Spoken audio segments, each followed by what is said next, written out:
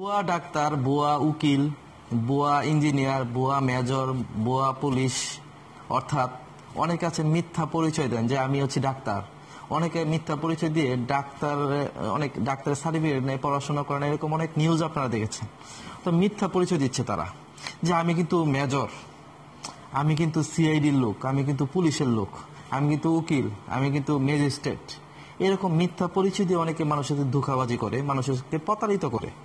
এরকম অনেক কিছু আপনারা ইতিমধ্যে মিডিয়ার যুগে বা ফেসবুকের যুগে আপনারা জানতে পেরেছেন। কিন্তু এটা আইনে অনেক বড় অপরাধ। অর্থাৎ বাংলাদেশের আইনে বলা আছে, যদি কেউ মিথ্যা পরিচয় দেয়, মিথ্যা পরিচয় দেয়, সে তার আসল পরিচয় গোপন করে মিথ্যা পরিচয় দেয়, মিথ্যা মেজর সাজে বা পুলিশ সাজে বা সিআইডি সাজে বা উকিল সাজে, যে যেটি সাজুক না কেন মিথ্যা পরিচয় দেয়, তাহলে সে দণ্ডবিধি আইনের একশো সত্তর ধারায় অপরাধ করেছে। অর্থাৎ দণ্ডবিধি বাংলাদেশের যে প্যানাল কোর্ট এর একশো সত্তর ধারায় বলা আছে, যদি মিথ্যা পরিচয় দেয় বা মিথ্যা মানে নিজেকে ডাক্তার ভাবে বা পুলিশ ভাবে উকিল ভাবে সাংবাদিক ভাবে মানে এরকম ভাবে কাউকে প্রকাশ করে, তাহলে তার শাস্তি হবে একশো সত্তর দ্বারা এবং সে যে এই মিথ্যা পরিচয় দিয়ে যে প্রতারণাটা করেছে, প্রতারণা করছে এটা তো পরিচয়টা দেয় নিচ্ছে কোনো সুবিধার জন্য, তাই না? অনেক আছে ডাক্তারি পড়ে নাই ডাক্তার সার্টিফিকেট কিছুই নেই, কিন্তু সে এমবিবিএস ডাক্তার, সে নাকি মানে অপারেশনও করে মানে অবাক হয়ে যায় যে আমরা কোন দেশে বসবাস করি। আমরা এমন একটি দেশে বসবাস করছি যে একটি মেডিকেলের মধ্যে তার সার্টিফিকেটই নাই। সে ডাক্তারের কিছুই বুঝে না, ডাক্তারের কোনো সার্টিফিকেট নেই, সে নাকি ডাক্তারি করছে। তার মানে চিন্তা করে দেখেন যে আমরা কেমন কষাইখানার মধ্যে বড় হচ্ছি। অর্থে অনেক ক্লিনিক বা হাসপাতাল অনেক কিছু আছে ক্লিনিক সেগুলো হচ্ছে আসলে কষাইখানা। যেখানে তাদের সার্টিফিকেট নেই, তারা অপারেশন করছে। এটা শুনলে সত্যি অনেক কষ্ট লাগে।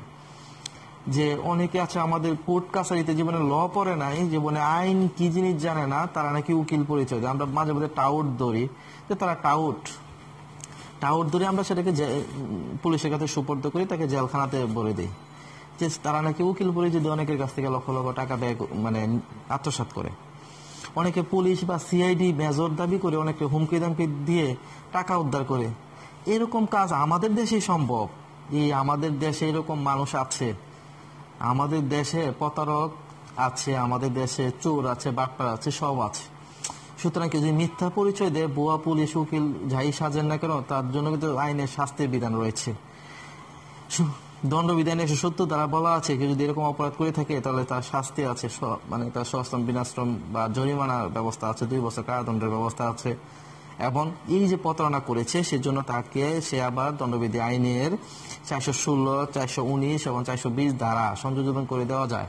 যেহেতু সে প্রতারণা করেছে, অন্যকে নিজে, অন্য মানে আমি অ্যাডভোকেট কাজী হুমায়ুন, আমার পরিচয় যদি কেউ যায় সে যদি বিশ্বাস করাতে চায় যে সেই কাজী হুমায়ুন, তাহলে সেটা কিন্তু তার অপরাধ।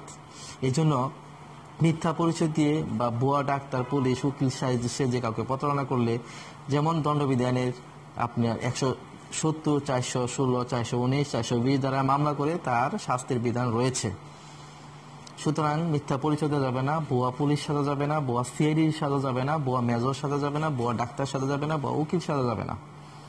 পড়াশোনা করেন এই লেভেলে আসেন, তারপরে পরিচয় দেন। অযথা মিথ্যা পরিচয় দিয়ে অন্ধকার কারাগারে যাবেন না। যদি এরকম কেউ আপনার সামনে করে থাকে বা কাউকে যদি আপনারা দেখেন, তাহলে সাথে সাথে তাকে সুপর্দ করবেন, থানায় কিংবা থানা পুলিশের হাতে দিয়ে দিবেন।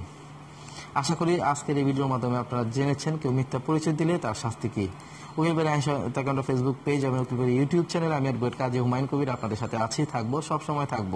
ভালো থাকবেন, সুস্থ থাকবেন, সুন্দর থাকবেন। শুভকামনা সবার জন্য।